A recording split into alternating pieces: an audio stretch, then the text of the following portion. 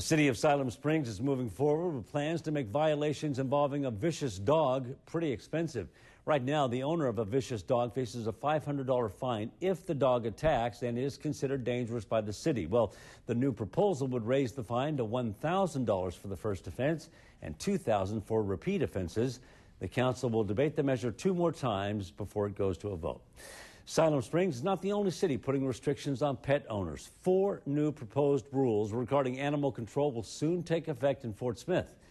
40/29's Kelly Johnson has been following this story for us, new at 6 tonight. And Kelly, when will these new rules be put into place? Well, Craig, they only passed by a slim margin, but have passed at the next two readings. They'll take effect January 1st of 2012 and affect everyone owning a pet within city limits.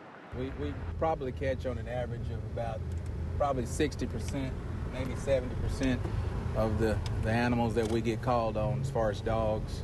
Fort Smith Animal Control Officer Arthur Lewis spends his days answering calls and looking for stray animals. With the season changing and the weather getting a little bit warmer, uh, we tend to have more dogs starting to run loose the Sebastian County Humane Society takes in about 7,000 animals a year, 66% of those being from Fort Smith. These numbers prompted several proposed ordinances that would help control the pet population.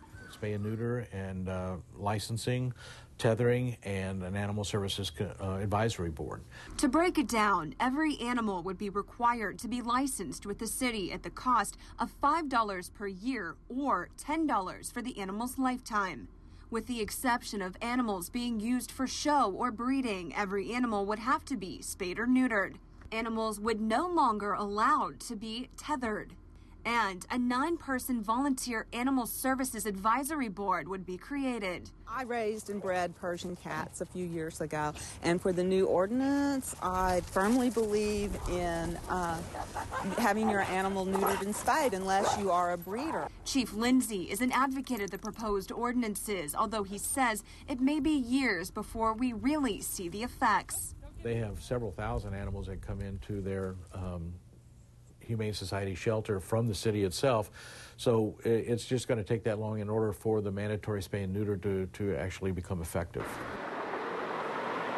Now, if adopted, the licensing uh, the licensing ordinances will come in phases. Each ward of the city will have a three-month period to register their animals. And Craig, that's so uh, the city doesn't get bombarded with animals like uh, Carbs here. Carbs, that's his name. His name is Carbs, ah, oh, Dr. Cute. Atkins' worst nightmare. cute. Thank you, Kelly. The licensing fee for animals kept intact for breeding or hobby will be $25 a year.